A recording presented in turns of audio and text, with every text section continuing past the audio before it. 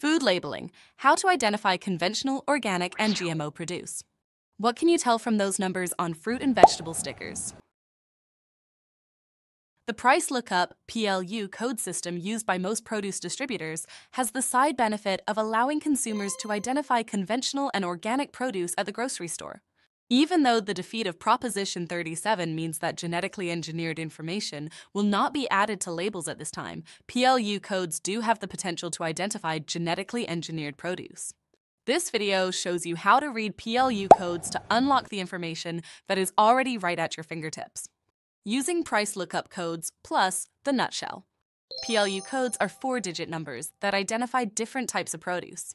For example, Number 4011 is the code for a standard yellow banana. The number 9 prefix added to a PLU signifies that an item is organic. For example, number 94011 is the code for an organic yellow banana. A number 8 prefix added to a PLU signifies that an item is genetically engineered, GE. For example, number 84011 is the code for a genetically engineered yellow banana. PLU codes and their organic prefixes are in wide use, but GE codes are rare at best.